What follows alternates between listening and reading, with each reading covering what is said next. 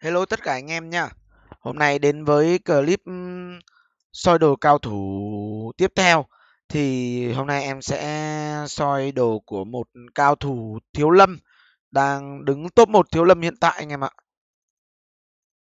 Đây. Đứng trên vị trí của em, đó là anh Duy. Anh Duy là trưởng lão của bang à, Hoàng Kim.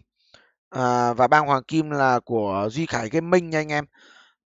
Thì uh, trong thời gian vừa qua anh em có thắc mắc cái việc mà em tại vì sao em lại rời bang Hoàng Kim? Thì em cũng tiết lộ cho anh em một bí mật đó là à, quyền à, bang chủ của bang Gia Long cùng với một số anh em như anh Đức, anh Hải Hoàng, à, anh Tép các thứ thì cũng đã dục dịch sắm ặc để qua đây rồi và hiện tại đang ẩn ở ẩn ở Thiên Sơn. Và em không biết đó là ặc nào nha anh em. Em chỉ biết hiện tại đang ở ẩn ở Thiên Sơn thôi. Đến em cũng chưa phát hiện ra. Và cái điều thứ hai khi em qua Thiên Sơn đó là có anh Trường. Và anh Trường anh Trường VTV ấy. Anh Trường VTV cùng với Khải. Và em thì ở S4 Đại Tung Sơn là trưởng lão của bang Gia Long. Nên là cái việc mà à, anh em không có đối nghịch gì cả anh em à chỉ là qua chơi cho vui thôi và cái server này em buôn là chính. Em buôn và đi làm những clip bói đồ soi đồ cho anh em xem. À, nên là em tìm kiếm thị trường mới là chính thôi anh em ạ. Ở đâu có thị trường là ở đó có em. Còn bây giờ thì khi quyền sang đây thì em nghĩ là em cũng sẽ đầu tư một cái ạc gọi là ạc đánh nhau. Nhưng còn lâu nay toàn ạc xe của em thôi anh em ạ. Ok anh em nhá à, đó là lý do trong cái việc anh em thắc mắc trong cái việc khi mà em đi qua thiên sơn nha anh em. Ok để không phải để anh em chờ lâu chúng ta vào luôn cái ạc của anh duy nha. Đây là một con thiếu lâm top server mà em có thể nói là đồ sau khi nhìn qua ấy, thì em cũng khá ưng ở một cái ạc này nên em cũng review cho anh em xem. Anh duy là một người khá chịu chơi trong cái việc sắm đồ anh em ạ. Thôi để vào luôn nha. Đầu tiên là cái vũ khí anh em vũ khí thì anh duy sử dụng cho mình một cái vũ khí sát thương vật lý ngoại công 43 điểm. Vũ khí này thì đúng là một trong cái, những cái vũ khí mà hiện tại có cái lực sát thương cao nhất rồi anh em ạ. Hơi đáng tiếc là thiếu cái dòng sát thương vật lý phần trăm nhưng 43 điểm nó là một cái lực tay rất là kinh khủng cho đến thời kỳ đầu tím thì nó là một cái phôi cực kỳ ngon nha anh em. Không phải bàn cãi gì về cái vũ khí này rồi. Hiện tại thiếu lâm thì nó chưa được lực cho lắm. Nhưng mà đây đáng đây đây thì nó đáng là một con thiếu lầm top server anh em ạ. 43 điểm sát thương. Tiếp theo đến cái mũ, một cái mũ thủy, kháng hỏa 21 sinh lực nội lực 12x quá ngon anh em ạ. Em thì đến bây giờ em chưa kiếm được cái mũ mũ kháng hỏa mắc thì nhiều nhưng mà sinh lực nội lực nó trên 10x thì nó cứ tếu tếu như nào á thường thường nó chỉ rơi vào sinh lực hơn 12 hơn 10x nhưng mà nội lực nó rơi vào khoảng 5 6x nó không được binh cho lắm. Nhưng mà mũ này là mũ khá rất là ngon trong thời điểm hiện tại anh em. Dùng à, dùng kích hành thì nó kích ẩn luôn. À, thiếu lâm hệ kim dùng đầu thủy thì nó kích luôn ẩn một nha anh em. Mặc định kích ẩn một anh em ạ. Mũ khá ngon. Tiếp theo đến cái áo.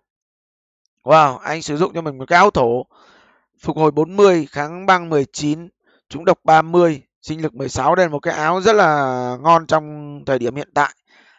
Uhm, một cái áo phục hồi 40 kháng băng cao trúng độc cũng cao. Sinh lực nội lực thì không có nhưng những cái dòng cơ bản thì nó khá ổn. Nếu mà sinh lực cao nữa thì mát binh anh em ạ. Tiếp theo đến cái dây chuyền. Wow một cái dây chuyền dây chuyền này em được biết là sau khi mà khải mua cái dây chuyền hỏa của em ấy, với giá 2 triệu thì khải bán cái dây, lúc trước trước khi có dây chuyền hỏa của em thì khải sử dụng cái dây này. Và sau khi mà khải bán cái dây này đi thì khải múc cái dây kháng tất cả 17 của em để tăng cái sự lực điền trong cái con côn lôn đao của khải. Vì đánh giá đây là một cái dây thổ, nó mức ở tầm ngon là bây giờ nha anh em. Binh thì không phải là binh nhưng mà ngon khi mà có dòng kháng tất cả. 7 điểm. Kháng băng hơi thấp trúng độc thì nói chung là cái này à, dùng trong thời điểm hiện tại là ok nha anh em. Nó không quá binh nhưng mà có dòng kháng tất cả là ok rồi anh em ạ. Ngon hơn những cái đồ mà hiện tại không có dòng kháng tất cả. Tiếp theo nha anh em. Đến với lại cái bao tay đi.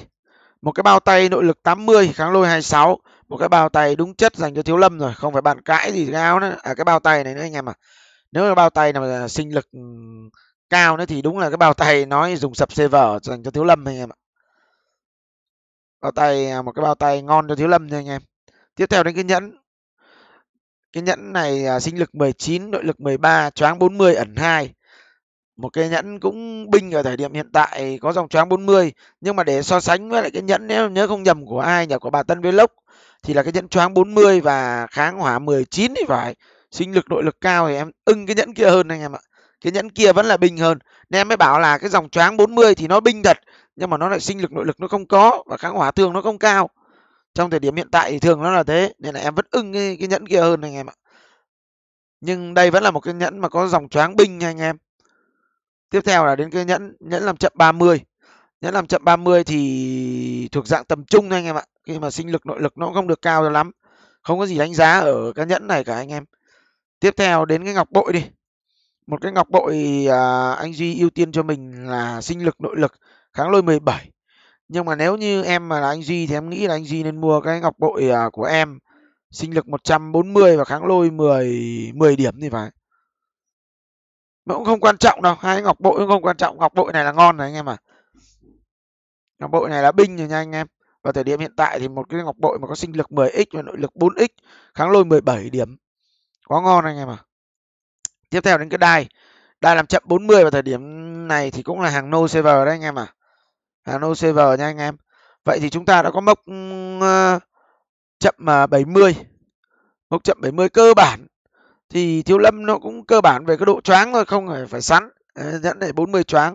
Nếu có nhẫn thủy này nếu em nhớ không nhầm thì để kích nhẫn thủy ở dòng trên thì nó cần hệ kim của vũ khí và nó để kích thuộc tính âm. Nhưng nó vẫn kích được choáng hai nha, khi mà nó được nó đã kích được, nó auto kích một ẩn của hệ thủy rồi anh em à nó auto kích một ẩn của hệ thủy thì cơ bản nó sẽ kích được cái choáng ẩn hai anh em ạ. Tiếp theo là đến cái giày. Một cái giày thuộc dạng là ngon ở thời điểm hiện tại nha, với có dòng tốc 40 bình. Nếu em nhớ không nhầm, cái giày này cũng là hàng, em không nói về cái độ mà ngon khi anh em bình luận nhá em luôn nói ở thời điểm hiện tại thì cái giày này nó là ngon. Sau này nó vẫn là một cái phôi chất lượng nha anh em.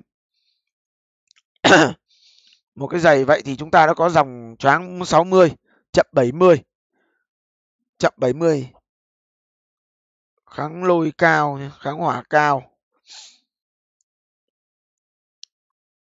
Choáng 60 chậm 70 thì chúng ta có thể đánh giá được đây là một cái ạc khá lì lợm một con thiếu lâm khá lì lợm anh em ạ. Xứng đáng là một con thiếu lâm top server thời điểm hiện tại nếu mà để nói tổng quan về đồ thì em nói là không quá được binh không quá là hàng nô như khải.